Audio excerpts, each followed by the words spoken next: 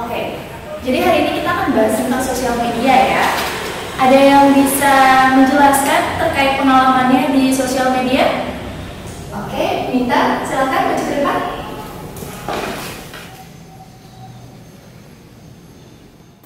Sosial media itu teman atau musuh?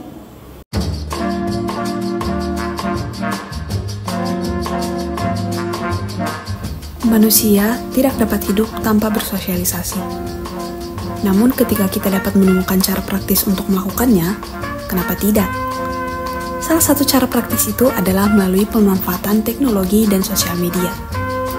Orang-orang menemukan bahwa pemanfaatan teknologi dan sosial media menjadi sarana yang efektif untuk melakukan beragam aktivitas dengan lebih mudah. Membeli sesuatu hanya dengan menekan layar, mengerjakan tugas yang rumit dengan AI, Bahkan untuk bersosialisasi pun tidak perlu menghabiskan waktu untuk berdandan selama satu jam ataupun menghabiskan uang untuk berbincang di coffee shop terdekat. Dengan berbagai keunggulan itu, orang-orang pun mulai berteman dengan sosial media. Aku adalah salah satunya. Sosial media menjadi wadah bagiku untuk mengekspresikan diri dengan berbagai cara. Sesimpel membagikan aktivitasku sehari-hari, membagikan rekomendasiku tentang suatu lagu, hingga mengutarakan opiniku tentang politik yang sedang terjadi. Ada salah satu hal yang paling kusukai ketika aku berkecimpung di sosial media. Ketika seseorang memberikanku pujian atas keunikan dan juga hasil pemikiranku yang unik terhadap sesuatu. Ada euforia yang muncul atas pengakuan itu. Dan mulai saat itulah aku berpikir, oh, menjadi keren di sosial media ternyata semenyenangkan itu ya. Perlahan-lahan aku mulai merubah beberapa bagian dari diriku. Aku mulai memperhatikan hal-hal kecil yang kugunakan, mulai dari atasan, bawahan, hingga detail kuku jariku yang bahkan dulu kugunting hanya sekali dalam sebulan. Bahkan untuk mengunggah satu foto di Instagram saja, itu membutuhkan banyak waktu, bahkan aku harus melakukan 50 kali selfie hanya untuk mendapatkan satu foto saja. Aku bahkan ingat di usia aku yang masih sangat muda, aku mulai menggunakan skincare dan produk makeup yang direkomendasikan oleh influencer terkenal. Which doesn't turn out well. Aku mulai memprioritaskan untuk membeli barang-barang yang bahkan tidak sepenting itu Aku bahkan membohongi publik untuk terlihat keren, bahkan membohongi diriku sendiri.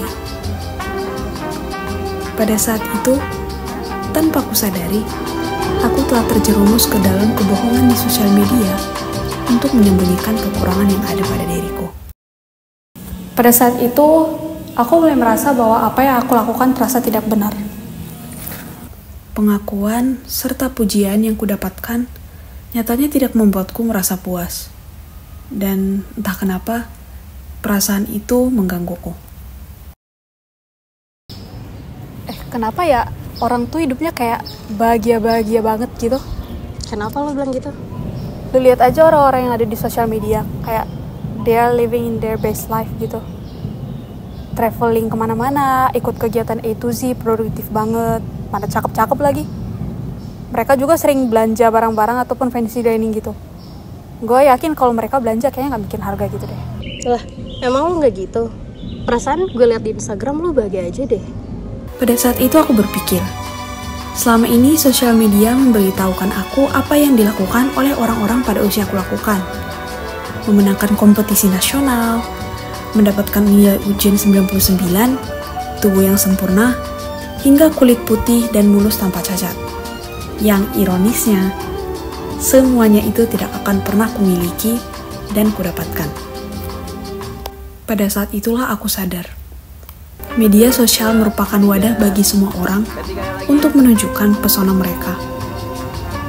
Namun pada akhirnya, mereka hanya menunjukkan versi terbaik dan menciptakan ekspektasi yang tidak realistis kepada publik. Menyadari hal tersebut, akhirnya aku pun mulai memutuskan untuk lebih berfokus pada potensi diri yang kumiliki. Pesona yang kupunya sebagai seseorang yang hidup di dunia yang nyata. Pesona yang kupunya sebagai seseorang yang ada di reality. pada orang-orang sekitarku yang mengenal dan menerimaku apa adanya, dan juga tidak lupa untuk tetap bersyukur atas hal-hal yang kumiliki. Pada akhirnya hal yang dibutuhkan itu cuma menjadi diri sendiri. Menjadi diri yang asli tanpa harus membohongi diri sendiri.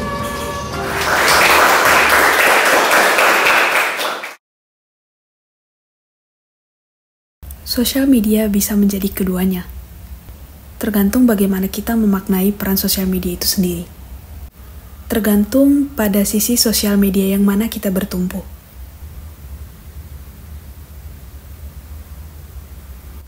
Lantas kalau kamu sendiri, bagaimana?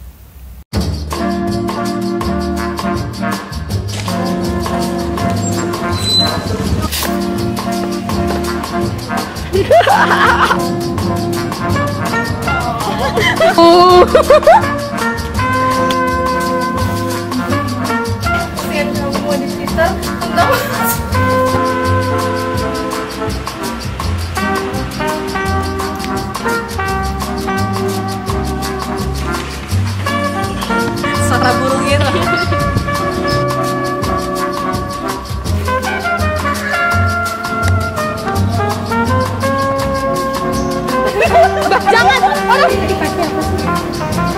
cowok bumi